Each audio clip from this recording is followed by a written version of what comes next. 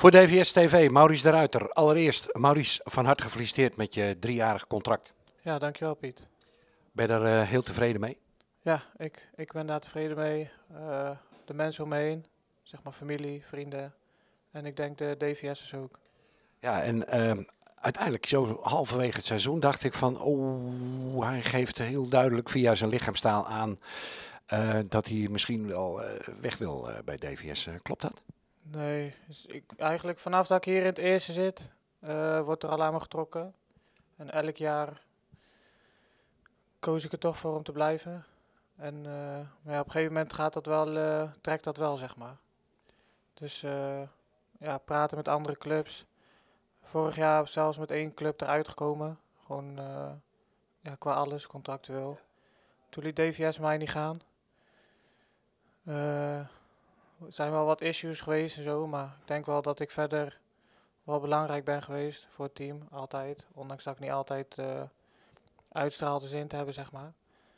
Dus ja, begin van het seizoen was ik niet bezig met een vertrek. Uh, wou ik gewoon voetballen, plezier maken en zoveel mogelijk winnen. Om mee te doen, zeg maar. Maar goed, we waren toen niet uh, stabiel als team. En misschien als individu, individu ook niet. Tenminste, ik was ook niet stabiel. Of constant. Ja, en nu de laatste periode is dat wel zo. En uh, ja, op, jou, op jouw vraag of, qua lichaamstaal toen, of ik toen naar mijn zin had, jawel, maar ik weet niet. Ja, nee, nee, ik, ik snap het. Ik, nou, je kunt je misschien nog wel even herinneren dat ik als commentator, en dat had ik misschien niet mogen doen hoor, hierbij nogmaals, nogmaals mijn excuses, dat ik zei van, oh Maurice, Maurice, waar ben je toch mee bezig, weet je wel. Maar um, ja, dat was na die vrije trap. Uh, toen, je, toen je niet met je teamgenoten dat vierde. Maar ja, uh, ik denk dat je dat ook graag met uh, Kai Velder wilde vieren en met je vader. Ja, nou, er was gewoon een momentje. Was ik een tijd, dat was volgens mij na die schorsing. Of ik, na een blessure, toen kwam ik terug. En Roald stond op het lijstje, zeg maar. Maar ik had zoiets van, dat was in mijn afwezigheid. Dus ik wou hem nemen. En Roald wou hem ook graag nemen. En toen wa waren we gewoon uh, in discussie daarover. Dus ik zei, ja, anders doen we steen, papier, schaar. Maar hij had zoiets van, nee, neem hem maar dan. Ja, toen scoorde ik, maar ik had al voor de wedstrijd afgesproken uh, met Kai, die was toen geblesseerd, van dan loop ik naar jou toe. En ja, zo gezegd, zo gedaan. Het was helemaal niet dat ik mijn team of zo, dat ik niet met hun wou juichen. Dat heb ik dus uh, gewoon ver verkeerd uh, geïnterpreteerd en uh, nou, dat is nu de wereld uit. volgens mij zit er nu ook veel meer rust in je hoofd. Hè? Die, die, dat, al die contractbesprekingen en zo, elk seizoen maar weer, dat geeft wel onrust. En nu heb ik het idee, er zit rust in dat hoofd van die harde wieker. Nou, er zit nooit echt rust in. Maar nee, maar nu is gewoon, ja, gewoon duidelijkheid ook. Ja, je weet het nooit in de voetballerij, maar in principe blijf ik gewoon tot mijn dertigste bij DVS. Totdat er uh, uh, toch misschien nog een betaalde voetbalclub langskomt. Ja, nou, die, die slapen al lang zat dus. Ja, die slapen inderdaad, in mijn ogen ook. Maar um, Maurice, um, jouw uh, voetbalcarrière. Je bent natuurlijk begonnen op straat, hè, op pleintje. Ja, gewoon op straat. Ja, in de achtertuin eigenlijk met mijn vader.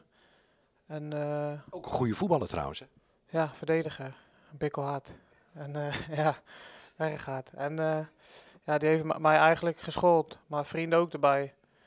En uh, ja, daar ben ik best wel eens, uh, ben ik best wel eens ja, van, ja, geplaagd, zeg maar. Ik, ik werd wel hard gemaakt uh, met, door, met bepaalde dingen, zeg maar. Ben je nu echt een grote kerel geworden? Jawel. Ja, ja, ja precies. Hey, op een gegeven moment zwart-wit, hè? Ja, klopt. Zwart-wit begon ik. En eigenlijk, mijn vader wou me niet zo jong op voetbal zetten, maar ik begon in de F'jes. En ja, al vrij snel, uh, na een paar weken in de F1. Voor de rest toen altijd selectieteams. Uh. En uh, toen op een gegeven moment werd je benaderd door DVS of kreeg je een tip of wat dan ook? Ik weet niet, ik mocht hier op gesprek komen met mijn vader. Zijn we geweest, wedstrijdje meegedaan en toen zei Jack van Sant, ja kom er maar bij. En toen kwam je in de A1, eerstejaars. onder welke trainer was dat toen? Dat was Okolooien. Okolooien, ja, dat herinner ik me nog. En jullie speelden waarachtig op een heel hoog niveau hè, tegen Ajax, A2, Volendam. Nee, ja, dat was dat jaar daarna met Hans Wiesnekker volgens mij. Maar met Okolooien promoveerden we. Was wel eh, ja, een goed jaar ook. Ik herinner me nog een eh, vrije trap eh, tegen die junioren van Volendam. Die zat er ook lekker in, Maurice. Dat was in het krasstadion, hè? Was van de middenlijn. Ja, ik heb daar nooit verloren ook verder. Dus, eh. Heel goed, heel goed. Hey, en eh, vervolgens, ja, eh, ja, fantastische jaren gehad hier natuurlijk, hè? ja, eigenlijk ja, bijna alleen maar hoogtepunten. Dus ja, Dat is wel heel mooi. En maar hoe, hoe ervoer je dat? Ook met je familieleden. ja nou, mijn vader en Leida en mijn stiefmoeder die komen al vanaf dat ik klein ben elke week kijken eh, door weer en wind. Dus ja, vaak als ik een goal maak vier ik het ook met hun, zeg maar. En, eh, de, de, en ja, mijn opa die luistert mee eh, via de radio of die komt ook kijken, maar die is niet meer zo goed te been. Maar ja, iedereen leeft mee. Dat was ook met het uitstapje naar Go Eagles, dus iedereen trots.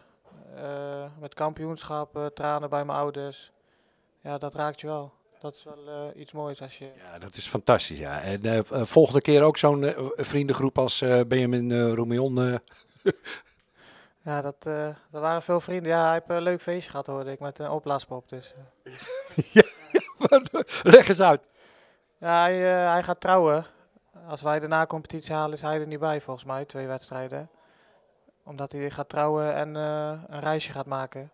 Maar hij dus eh vrijgezellenfeest. Dus eh, Hij schort dat toch wel op, dat, eh, dat huwelijksreisje. ja, eh, ik weet niet of hij de baas thuis is, dus. gekheid, gekheid. nee. nee, maar ja, dat staat al langer gepland. Ja, dat, eh, voor, voor hem en voor zijn nu nog vriendin ja, zijn dat wel eh, da ja, de mooiste dag van je leven, zeg maar. Dus ja. In het eh, interview eh, met Marco Jansen in de Stentor zei je dat, eh, dat je dus ook uiteindelijk bij DVS eindigt. En dat je op je dertigste wel ongeveer klaar bent met het spelletje. ja, ik zeg al langer, ja, ik ben er nu nog niet echt klaar mee, maar ik denk ja, eigenlijk, ja, klinkt misschien raar, omdat ik, ja, ik ben nog in, zeg maar in de kracht van mijn leven. En ik wil nog het hoogst haalbare eruit halen samen met DVS, dus die tweede divisie. Maar ja, ik, soms denk ik wel eens aan stoppen en dan denk ik zo rond de dertigste wel. Uh, we hadden uh, afgesproken een week of wat uh, geleden, toen je man of the match was, dat je nog een sprint had van iemand die uh, toch echt wel gewoon tot zijn veertigste uh, doorgaat. Ja, ja klopt. Uh, was een leuk grapje. Maar nee, ja, ik weet niet, je moet kijken natuurlijk. Dat zit in mijn hoofd. En meestal als iets uh, zo in mijn hoofd zit, dan gebeurt het ook. Maar het is gewoon afwachten. Kijken wat mijn kinderen doen qua sport. Of, ja, dat vind ik ook belangrijk. Nog belangrijker zelfs. Dus, ja. Heel goed. Hoeveel kinderen heb je nu? Nou, twee. Van wat ik weet, uh, twee dus. Van wat je, van wat je weet, twee. Oh. Nee, ik heb er twee. Uh, Lamero, dat is mijn oudste zoon, zes jaar. En uh, Elias, vier jaar. Dus, Elias, mooie naam. Ja, ja dus, hij is vernoemd naar zijn oma van zijn moederskant. Die heet Elisabeth. Dus. Maurice, um, nog twee wedstrijden en dan na competitie gewoon, hè? Toch? Ja, ze twee keer winnen, simpel gezegd. Maar uh, we zijn afhankelijk natuurlijk van Volendam. Ik weet niet hoe hun gespeeld hebben tegen Quick Boys, maar ik hoorde een goal uit de afstandsschot. Ik weet niet of het verdiend was of niet, maar ja, dat is uh, zonde. Ja, wij moeten alleen op onszelf letten en uh, dan zien we wel wat schip strandt, zeg maar. We wensen je er uh, vreselijk veel uh, succes mee. En ook die laatste drie jaar bij DVS laat ons uh, genieten. En de afgelopen wedstrijden was echt ongelooflijk genieten van jou. En ja, ik hoop dat je opa nog eens een keer helemaal uit zijn dak gaat. daar luisteren naar de radio. Ja, dat, dat doet hij sowieso. En ja, wij als spelersgroep genieten ook van het publiek die achter ons staat. die ons aanmoedigen. Dus ja, dat is gewoon een mooie wisselwerking. En het worden mooie drie jaren.